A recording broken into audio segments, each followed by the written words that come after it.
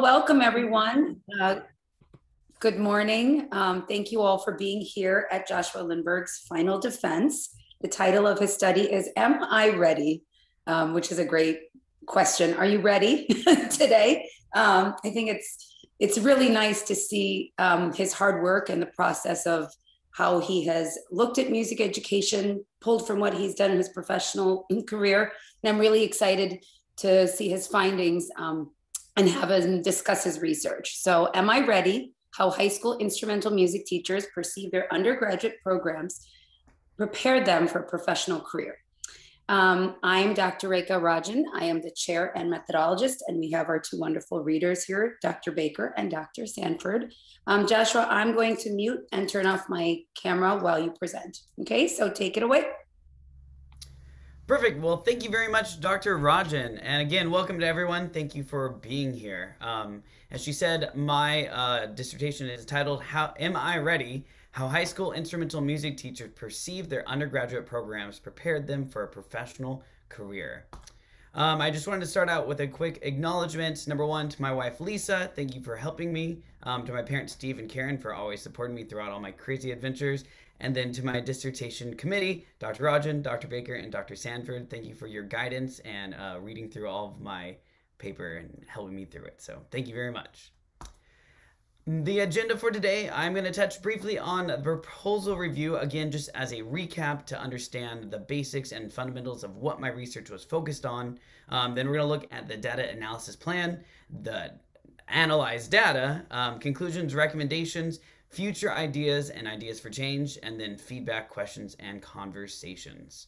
Um, again, my name is Joshua Lindberg. I'm currently a high school band and orchestra teacher. I have a Bachelor's of Arts in Music Education, a Bachelor's of Music in Piano Performance, and a Master's of Music in Wind Band Conducting, all from Eastern Washington University.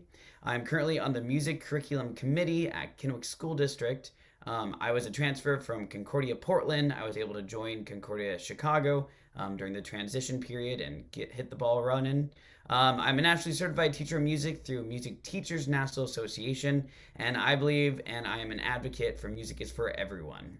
That's a picture for me from daycare. I started piano very young. Um, diving right in. So my research topic and problem, which we've already looked at, the topic is instrumental music teacher preparation programs and the current instrumental music teachers perceptions. Um, the problem was that music teacher preparation courses do not align in the Pacific Northwest and are based on the regional understanding of the requirements of music education. Um, the students who are graduating with their music degree do not only find professional jobs in that region, but they graduate and must adapt to meet the needs of the school districts and students they are teaching. The purpose, um, the purpose of this research study was to examine the perceptions of graduates from a music teacher preparation program regarding, regarding their music teacher preparations. Um, the research questions that guided this whole process was how do high school high school instrumental music teachers feel that their undergraduate program prepared them for a professional career? Subquestion one was What are the components of high school instrumental music teachers' undergraduate programs that were utilized in their daily teaching practices? Subquestion two During these professional teaching career, what classes or teaching strategies would high school instrumental music teachers have liked to experience as part of their undergraduate program? And then subquestion number three What recommendations do high school instrumental music teachers have for strengthening undergraduate music teacher programs? Those are the questions that guided my whole research. Again, to um, get our minds wrapped around the idea, the framework for this study explored the effectiveness of teacher preparation program, producing highly effective music teachers based on the interviews of current music teachers.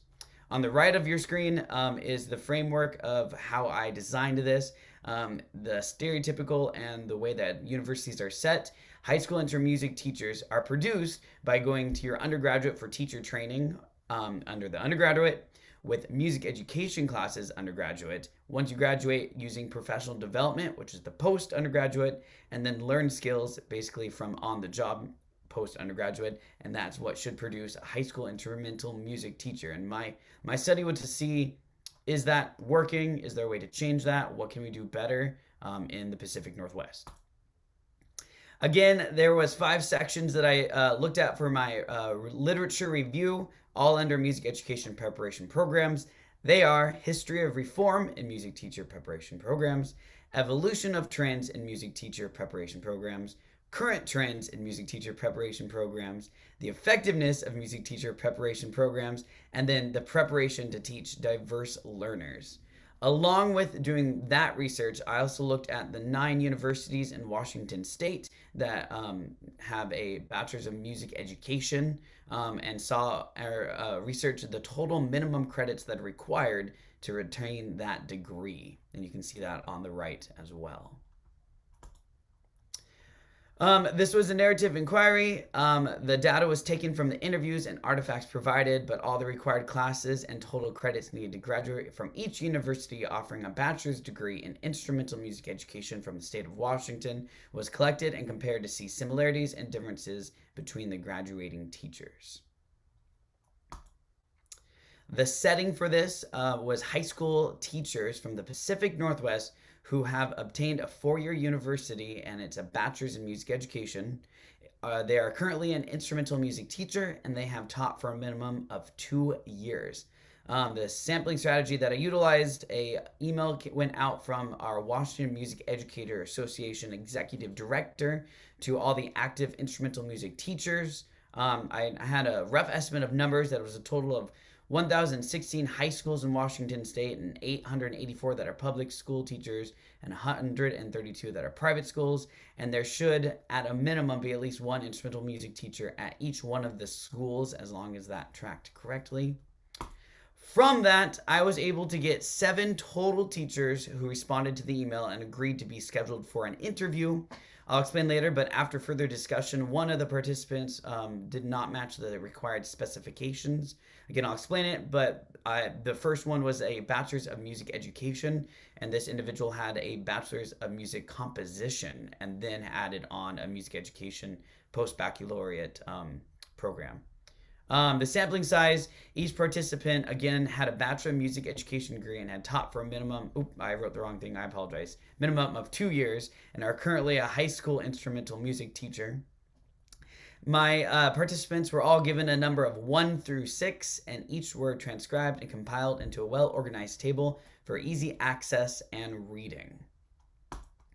Here is how I was able to um, quantize the data and be able to refer to it quickly. Each interview uh, interviewee was uh, given a number one through six. As you see in between five and six, NA was the um, individual who had the music composition degree. Um, the degrees that I wrote there was just a BA in music education. Some of them were slightly different, but that was not um, needed to be represented in the data. The differences would be one university offered a Bachelor's of Arts in Education with a speciali- specialization music versus another university had a Bachelor of Music Education degree. Uh, upon comparing the required um, credits, it was all the same, it just the title of the degree was slightly different. Um, I also, in the interviews, asked them about their post undergraduate. One of my um, interviewees did not receive a post undergraduate degree, while the other five, six, if you include the um, interview who wasn't um, included, all have a master's or beyond degree. Um, all of their interviews were transcribed except for the bachelor's of music composition. And then, as I will talk a little later too, the artifacts acquired, I did not get any artifacts from the interviewees. Um, here was my original planned collection tools and instruments.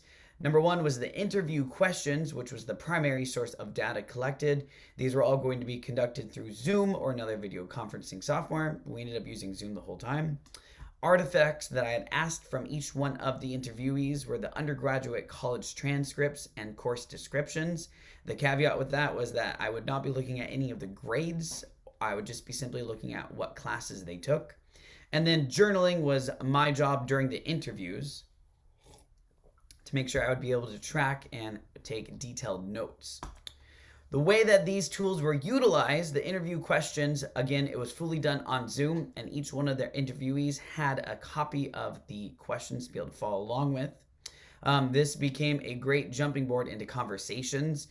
Um, several of my interviews were very rigid that I asked a question, got an answer, moved on. Several of my interviews were conversations that I was able to talk for at length um, beyond just an answer to my question. Um, the artifacts, like I said, they were not acquired from any of the participants. Um, it was something that I had asked them in the first email in our correspondence and reminded during the interview, but none of them were able to provide me any of the artifacts. And then the journaling took uh, the form of sticky notes for each one of the uh, interviewees. I ended up having several for uh, a couple of conversations that got a little longer. But this is where I just dotted down some ideas or um, things that were mentioned that would help me remember the interview and be able to use that data um, for this whole project. The data analysis plan, and again, this is part of the um, um, uh, proposal was I was following the Braun and Clarke's 2006 model. Um, the highlights were becoming familiar with the data, basically reading through the whole entire thing several times. Number two, generating initial codes. As I found new things, I had physical copies. I was um, using highlighters, using pens to mark different areas, questions to myself. Um, number three, search for any themes of the codes. Was there any major themes that I was finding? Reviewing those themes, making sure it was coherent and made sense throughout the whole document, and then defining them, making sure each one of the themes was a core for the whole interview process, and then finally the write up. The way that that manifested, I was able to find three uh, themes throughout the whole document. And by document, I mean all of the interviews and the transcripts that were done. Um, the first one was teaching techniques. The second one was challenges in music education. The third one was expectations and recommendations. The way I found those was first the five codes, the codes that um, were abundant and clear throughout the whole document. The first one was challenges. I gave that C1. The second one was expectations. That one was C2. The third one was experiences, C3. Fourth one was influence of teachers' characteristics on experience. That was C4. And the last one was music specialization, which was C5. Once I was able to fully understand and make sure that worked for my whole document, I created this graphic that helped understand and disseminate the data. So the first question about my whole entire um, or my whole dissertation was how instrumental music teachers perceived their undergraduate degree prepared them for a professional career. From that, the themes that I found were teaching techniques on top, Second one was challenges in music education, and then the one below was expectations and recommendations. And then of those, here's how the codes um, were decided from each one of the themes. For teaching techniques, I found experiences, and then the second was influence of teachers' characteristics on experience. The second uh, theme was challenges in music education. The codes were challenges and music specialization. And then the last one is expectations and recommendations. And the code that I found worked best was expectations. Using the data, here is how I found those and was able to keep uh, coding and adding the themes. Um, as an example, interview E, or sorry, interview six said there was an attempt to get us out in the schools early, both early on, so that we could say this isn't for me. And then throughout my four years or so in college, there were these sporadic opportunities early on, middle, and even closer to the end before I did my student teaching to get out in the schools and do work with some of the music teachers. That's the data that I read. From reading that, I was able to decide that that was talking about music specific, uh, specific, oh my gosh, excuse me, specialization, not only is that a teaching technique, but that is so specific in music that they wanted to get them out in the music teachers' classrooms to make sure that worked. Along with this isn't for me when they quoted that, saying this is specific to not just teaching, but music. Again, that fell under the um, theme of challenges in music education. Excuse me. Looking into the themes, the first one again was teaching techniques. Um, the codes I found that were a part of that were experiences and influence of teachers' characteristics on experiences. This theme, teaching techniques, was found in all of the interviews because one of the most substantial topic that the interviewee spoke about was the teaching techniques that they either had or found that they needed to elaborate and expand their teaching toolbox. The second theme that I used was challenges in music education. The two codes were challenges and then music specialization. This theme, challenges in music education, was labeled throughout the interview transcripts when something specific to music was being discussed that include a challenge in teaching. And then my third theme was expectations and recommendations, and this had the code of expectations. This expectations and recommendations was something that each interviewee wanted to make sure that they were able to contribute their own ideas on expectations of the music teacher and their recommendations on how to better serve future music teachers. The interviewees were all current music educators who were not only practicing the teaching and music skills, but they were also contributing to the music education. So, my findings of this whole uh, dissertation, there were three main takeaways. The first one um, was mentorship. All of my interviewees spoke about a need or a want to be able to help other music teachers, or that they wish they would have had someone guiding them as they're going throughout this. Um, I found this very important. Not only did each one of these have to do student teaching, but after that nine week or 12 week, depending on their university, was done, a lot of them felt they missed out on a transition or some sort of mentorship program.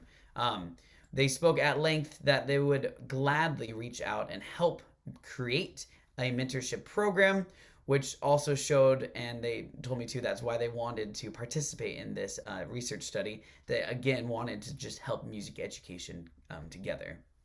The second thing I found was more time in the classroom or practicum. Um, not only did they have great time during their student teaching, but they wish, as interview six had said, had spent more time throughout their four years or however long it took them to get their undergraduate in an actual music classroom. Um, just observing and being able to be assisting in any sort of education for students would have helped given more um, understanding and substance to what they were learning in their classes at the university level which led right into the third t- thing real teaching experience practice. Um, and this one is separate than being in the music classroom because being in the music classroom you could simply observe.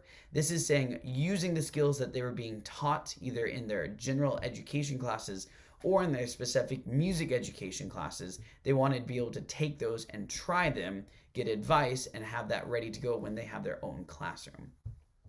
There was two areas that I thought that this was separated. The first one was at the university level. This would be done during the music education undergraduate. Um, the thing was less theoretical and more practical. Again, they could take tons of time and listen to a lecture about best teaching practices, but unless they were able to go in and try those, it was one part of the disconnect of getting the music education degree and then not being able to use their skills right away into the music classroom. Um, the second thing at the university level would be more sessions with local music teachers. Um, not only do we have fantastic professors and um, expert music teachers at the university level, but those people are more focused on preparing the students to become music educators. What all my interviewees talked about was we wanted someone who's in the trenches, as one of them said, to be able to talk with them, get ideas, share their experience, and really have a better understanding of what it's going to be like to be a music teacher. The second um, division of that was the teacher level. So once you got your music education degree and your teaching job, here are the things that they um, would be able to produce better, more highly effective teachers. The first one was conference attendance. Um, here in Washington State, we have a fantastic um, music education association chapter. We in the tri or not in the Tri Cities in um, Southeast Washington have our own uh, conference, but we also have a statewide conference. Every other year, we meet in the central part of the state where all music educators come together. It's a three to four day event that has several sessions. That is one of the best way. Each one of my interviewees said that they gained new skills and were able to talk with other teachers about what they can do to become more highly effective in their own classroom. Um, and then the other other year um, here in Washington State, we do a, a, Pacific Northwest conference that combines several of the states. And again, they talked about what a great experience that was to see what we are doing in our state versus another state and how we can use each other's data to be better for our students. Um, the second thing was newer students or sorry, newer teachers paired with more experienced teachers. Again, this goes back to the mentorship, but that's something at the teacher level that we would be able to help create better teachers is be have those connections, be able to bounce ideas, get help. Um, they can come just observe the way that they're teaching and using that to become a better, highly effective teacher. So, my conclusions and recommendations again, this was based on what you saw on the last slide. At the university level or the teacher preparations program portion, is again less theoretical and more practical with sessions with local music teachers. This is something that universities would be able to create and foster in their own programs, be able to help all others. Second would be at the teacher level, and this would either be by district or by um, um, our Music Education Association's local chapters is again promote attendance for our conferences and then also see if we can pair newer teachers with more experienced more experienced teachers in a member mentorship um, capacity. Excuse me. What I found for this was this is just the scratch of the surface of a topic that needs to be, and I plan to do even more research in as I continue throughout my career. Um, so, some uh, future studies and ideas for change um, to conduct interviews at a different time. So, I was able to conduct my interviews during summer, but from listening and talking to my colleagues and the interviews, that wasn't the best time. As teachers, we have a robust nine month full focus that we're teaching with our summer that we're more lax. And because i did the interviews during the summer i believe that is one reason i did not get a bigger um, uh, perspective of interviewees. Um, and so that's one thing i would find interesting if i would go try that if i would get a bigger widespread participant list or if that would stay the same Second thing would be expand on the amount of artifacts. Again, I asked them, um, but they did not get to me. I think in the future, when I do my next project, since again I plan to continue with this, um, is to have them prepared for the interview, making sure it's there ready to go. That way I can use that data as well. Um, another thing I think would be helpful in the future studies would be following up with the same teachers a few years later using their same interviews, uh, or not the same interviews, but the same kind of questions to see what they were able to learn either on their own or if they if this sparked something that helped create a new um, setup in their current teaching. Um, I also think it would be fantastic to interview teachers outside of the Pacific Northwest. I know there's fantastic music um, teaching performances going uh, nationwide, globally as well. Um, and I was focused in Pacific Northwest because that's where I currently teach and feel that I would have the biggest impact to start with. But this would be something fantastic on a whole national level. How are we preparing music teachers? How are music classrooms um, functioning throughout different states? Um, and then also a different interview of the music education college professors. I think it'd be interesting, not only good to get that data of what is happening there, but it would also be a good self-reflection. As we know as teachers that is one of our best tools is self-reflection. How did a lesson go? Are students understanding this? This may be a good opportunity for college professors to be able to see this and also think okay how can what can i do? How can i change? How can i explain this data to our new generation of future music teachers um, the three main studies as I continue forward, the first one would be a study of instrumental middle school teachers or general music education teachers, and then also special specializations of choral, so middle and high school. See what their perceptions are of undergraduate programs, prepared them for a professional career.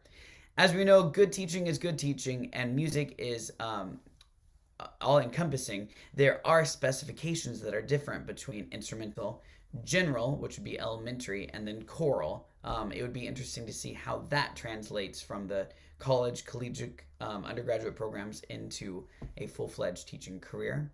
Um, the second one would how alternative paths, so a post baccalaureate or a master's in teaching, students perceive their degree programs prepare them for a professional career. Um, I have a friend who went into the Marines for the music, and then he went and got his degree in teaching. So I know he comes from a whole different um, background than I do. He was in the Marines, which was more structured and performance based, and now he's taking that, got his um, teaching degree, and now he'll be teaching using that. Versus me, who went straight to university, got my teaching degree along with performing, and now I'm teaching. And again, the last one would be how university teachers and professors perceive their degree programs per their, prepared them for a professional career. this would be very interesting that they are themselves their professional career is preparing new music people teachers professors performers but how their degrees prepared them for what they are currently doing so these are all future studies that i think would um, spark from my study and that is what I have. Um, I, I now welcome all feedback, questions, and conversations. Um, here were my references as well. Um, and I will hand it back over to you. Thank you, Dr. Rajan. Thank you, Joshua. That was wonderful. As you know, um, this is something, this is a topic I was very, very excited and passionate about being in similar situation as you, not instrumental, but general music, getting music ed degree, getting performance, and um, yeah, just basically being thrown out there and having to figure out what you needed really to help you be prepared.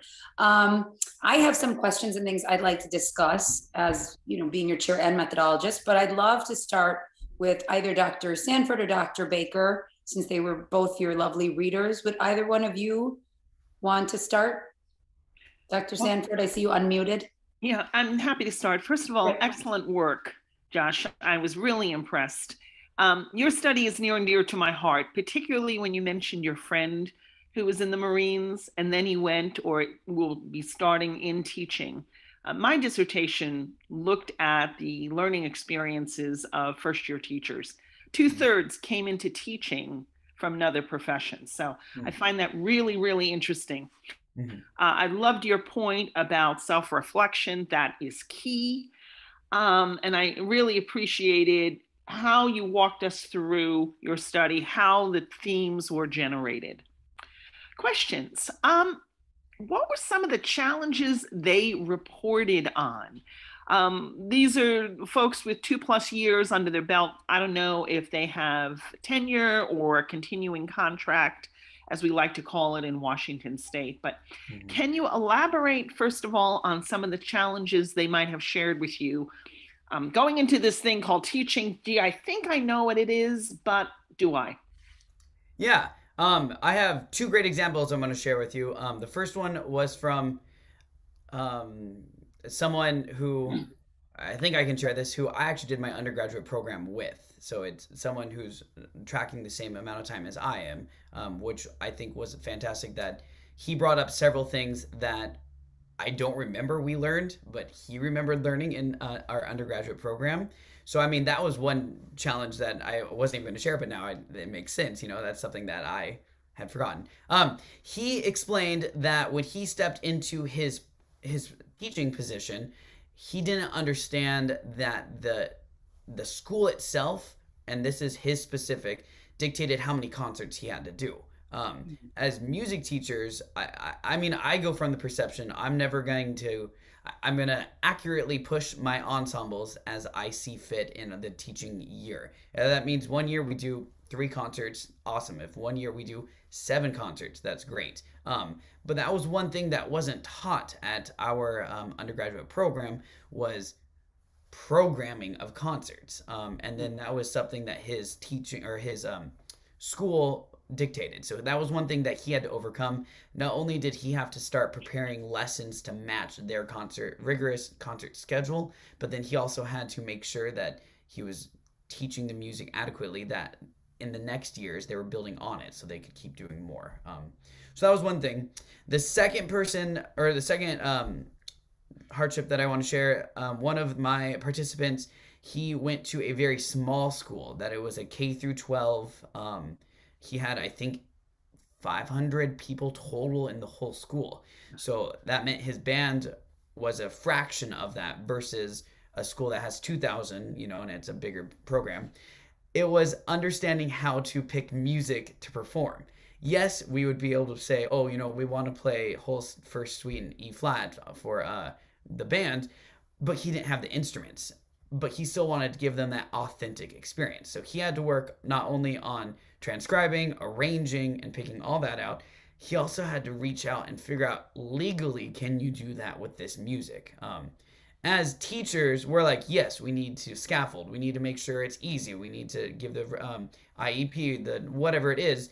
But also we have to remember at what level are we changing that that we can't give that authentic music experience? So that was one thing that was missing from the undergraduate program was how to arrange the music in a way that would be coherent but then also how to match where where you are going to teach. Um, he even talked about when he had students auditioning for honor groups his students were never picked and he's like they are so talented. I'm working so hard with them. But people who were so he was at a rural school who were at a more metropolitan area had access to more um, uh, uh, sources such as private lessons or even right now zoom lessons. They had the ability to get on that. The rural school that this person was at there was a farm school. So most of the students had to go home work on the farm, karate, um, hard labor, come back, and they were just in music for the love of it. So it, it was disheartening for him that he worked so hard with these students to try to get, you know, to that level of music. But again, that's where they were. And that was one thing I used in my teaching too. You got to match the student where they are and hope push them there. Um, so the two main things number one, matching what the school is expecting. And then number two, where your students are and what you can do with them. And that's one thing that was missing from the undergraduate programs. Great. Um, another question really relates to politics. Mm-hmm. You know, you have these techniques, um, you get the experience in school, and then you're put into this school, mm-hmm. um, and you have to negotiate that. It's it's all the tacit learning, the stuff that nobody tells you. You sort of learn through observation, or maybe in the teacher's lounge. Hey, watch out for so and so, or mm-hmm uh, you know, a parent calling the school and saying, why is Mr. Lindberg doing X and Y and Z? Did your teachers mention that? That's sort of a slippery slope here with teaching. Excuse me, with teaching. You know, thinking back to the interviews, and no, no one really brought that up. Um, okay. I, I think the only thing close to that was there was a disagreement between an instrumental and their colleague who did choral, but I mean that I, I think got resolved, you know, but no, they really didn't bring up that side, you know. Um, so I, yeah. Okay.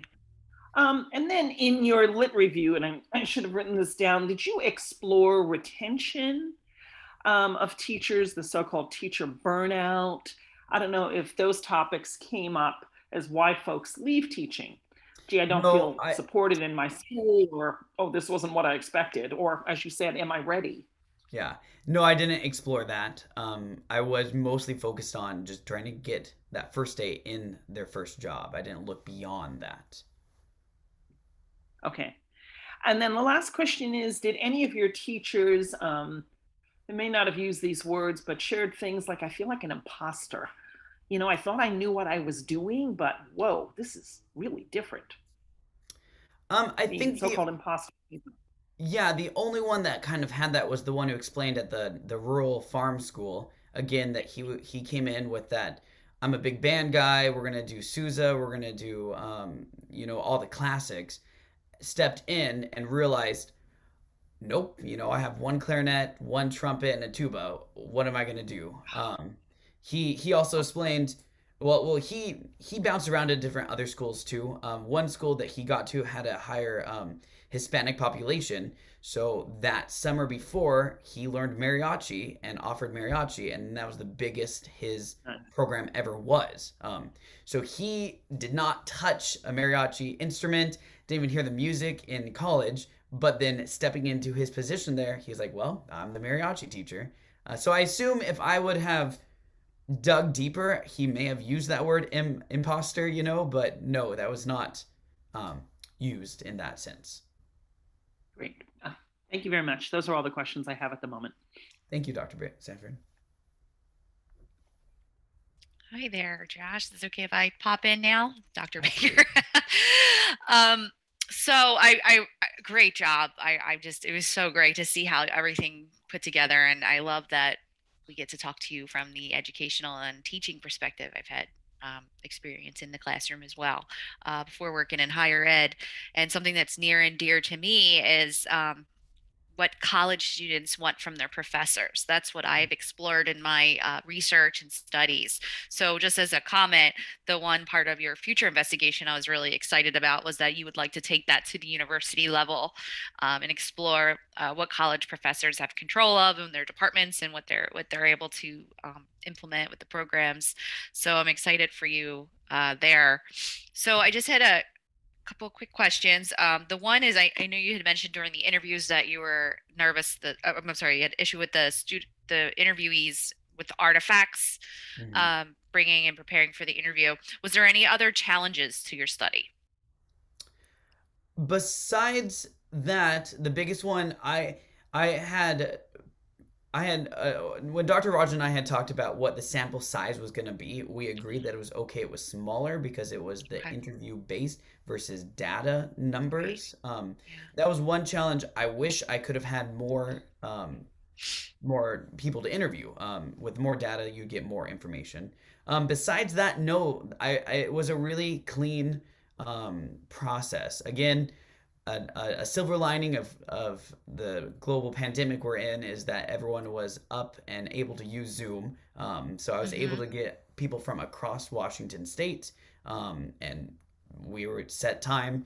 Um, I, I had it open between seven and five, and they could pick any time within that. So I was I was very much the like, please just come. I would love to talk to you. Um, so that was great. I think again the only thing was I, the smaller sample size and then the artifacts. And I I question if I would have done these in person, if that would have triggered something in their mind of, oh yes, I need these to go with me, versus I'm gonna roll out of bed, open my computer. I, I mean they didn't do that, but um, right. So I think that would be the only two things, you know, was the size and the artifacts.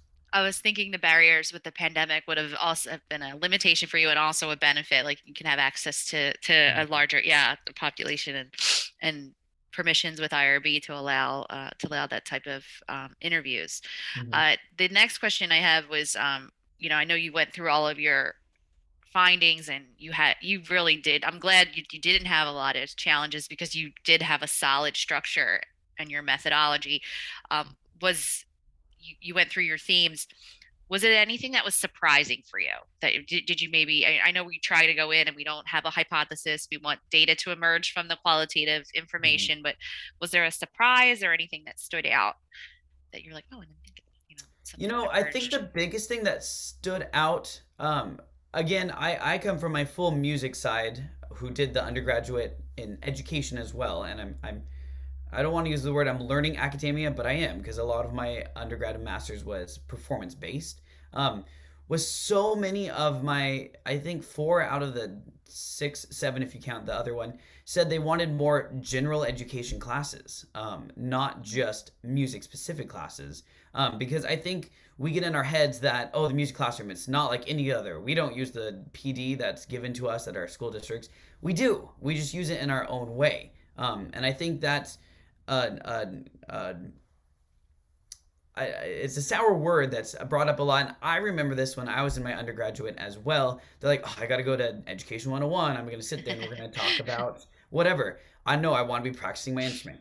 Yes, but when you step into that classroom, they don't care if you're the math teacher, they don't care if you're the science teacher. You're a teacher you're just going to use music as your way. So, yes, we're still figuring out our expectations for our students. Yes, we still have a specific classroom management. Yes, we still have a setup of how they get in, grab their instrument, sit down, and look up at you. Um, and that's one thing I think they want more of, but we just, we don't want to say we want more of that.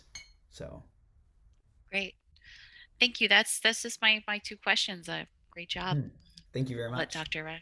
Thank you. Thanks to both of you. Um, Joshua, I have to piggyback off of that because I think that's really important. Um, my two masters, one of them is in early childhood education, and then mm-hmm. I did my master's in music ed. And I was blown away by the number of people that didn't even know basic child development mm-hmm. theorists or any, right? Because there's so, it's so music and instrument focused. Can you go back to your findings page? Because there were a lot of things that you spoke about in this discussion now um, that I'd like to see listed. I think it's mm. in your, I think it's in your document. Yeah. But if you were to present this again, I think it would be interesting to have more slides for your findings. So okay. to really elaborate and pull out all of these things that you shared with us, Um, so if mentorship is one, I would have loved to have seen a slide with little, like, just think of maybe five or six bullets of what that would look like. Do you want mentorship meaning what? More professional development? Um, mentorship with another teacher, like like team teaching? Um, what what was some examples of mentorship?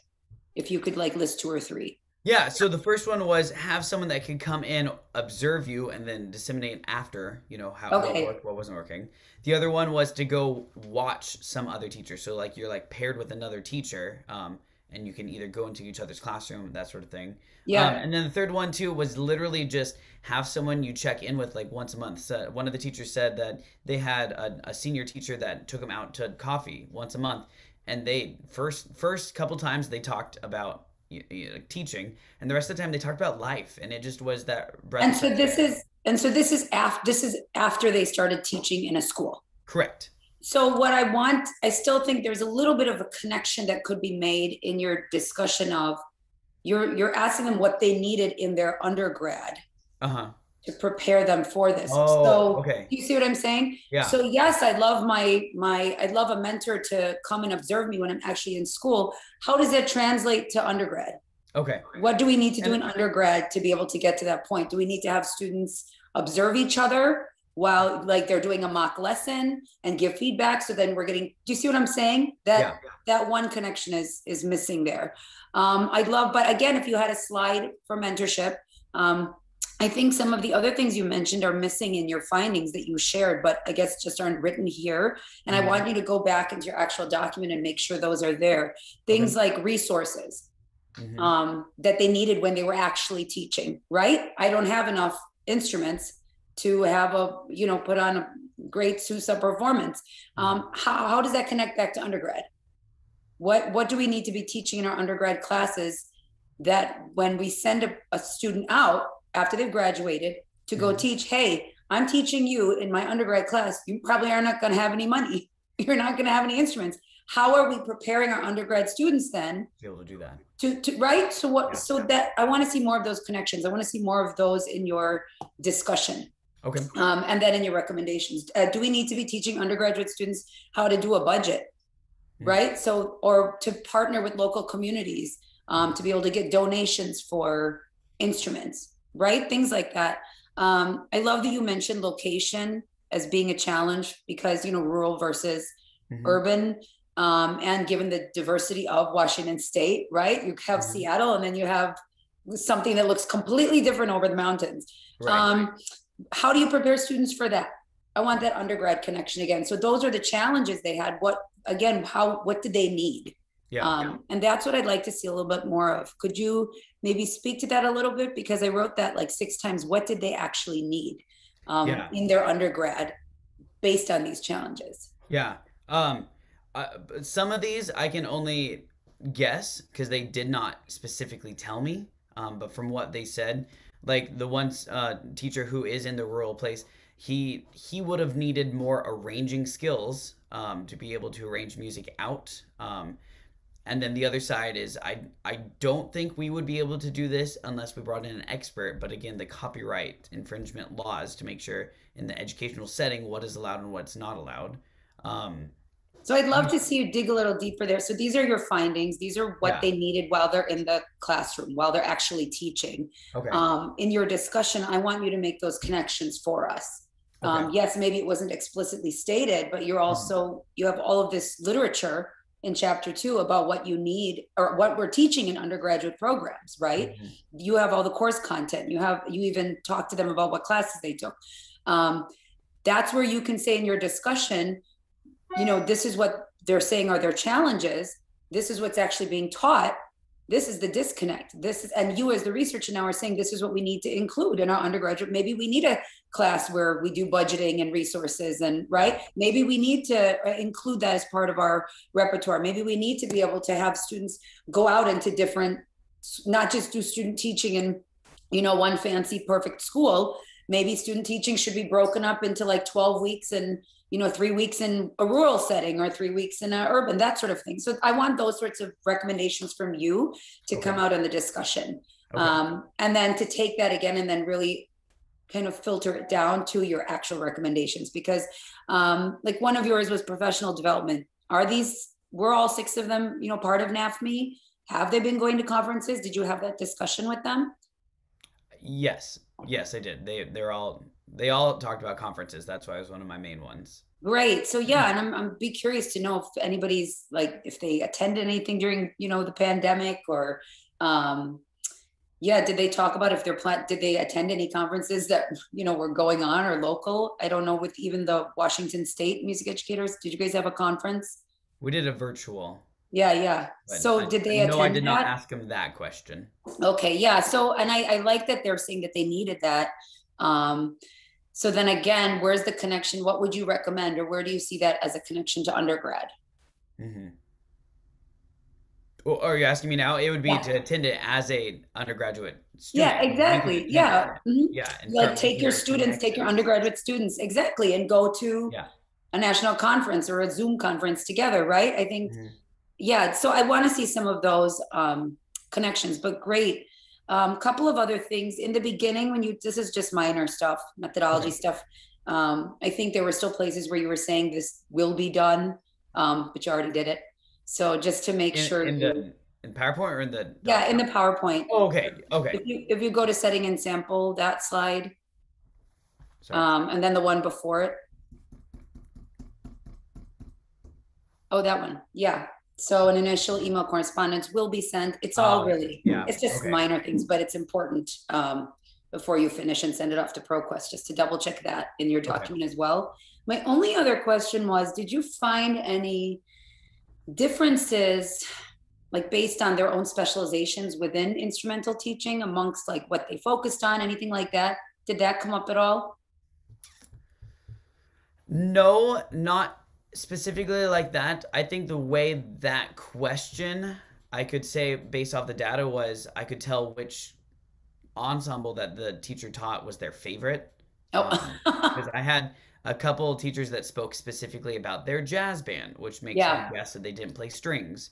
Um, and then I had Oh. one that talked about orchestra, and I know this person plays clarinet, so I I know that they focused on symphony orchestra versus just standard string only orchestra. yeah, great. And I'd be interested in like knowing more, I think, of how their specific school site limited, again, Mhm. what kind of ensemble and types of music they were able to focus on. Um, I did ask the question of the um, of all my participants, what classes do they currently teach? Um, and Oh. that was um, used simply to make sure number one they are an instrumental music teacher, um, but you know what what their focus is on. I would love to see a table of that in your findings. Um, I think that's really interesting to know that somebody maybe had a background in mariachi, but then came into, you know, what has to teach band with no instruments or focused on jazz um, and didn't do orchestra or could only do, you know, string quartets or something. I think that would just be an interesting Mhm. finding for us to be able to see, espe- especially because you and I understand, you know, all these different genres within instrumental music, but somebody who's reading this that has no music background, you know, that would be just really relevant Okay. data. Yeah. Um, yeah, so are there any other thoughts or questions? I just have to make one quick comment, Reka. I just loved your ideas about what they could do at the undergraduate level. I'm thinking a budget class. I'm thinking um, professors giving the students a scenario. Okay, you've got a clarinet, you've got a tuba, and you've got Yeah, you drums. Go out and Mhm. create. You know, what program will you put together? How will you deal with the irate parent who says, "No, my kid is playing a trumpet"? How, those sorts of so-called soft skills would be so important and Mhm. help people feel more successful. I really appreciated your comments on this. Yeah, I know the no, I yeah, I appreciate that. And again, it's just ideas I'm pulling from Joshua's data. So I just want to see you make those connections in the in your presentation whenever you share this again, and also Yeah. to go back into your discussion and make that more um more concrete for us because yeah, I mean, if that's what they're telling you, they didn't have money. That's a reality for most music teachers. Or Yeah. again, the irate parent. I can't tell you how many musicals I've done where everybody wants their kid to be the main role. And sorry, it doesn't work that way. You can't have 10 Dorothys in The Wizard of Oz, right? So, um, yeah, I think that's, I just, it's all there, Joshua. It's all there. I just want to see that you taking what they said Mhm. and you, as the expert now and the researcher, making those connections in the discussion and then the recommendations for us of this is what's missing in your undergraduate programs. Thank you. Great. Any other thoughts, questions, comments? All right, uh, Paul, can you move us to a, another Zoom room to talk? Um, Joshua, don't go anywhere. Okay. Don't run away yet.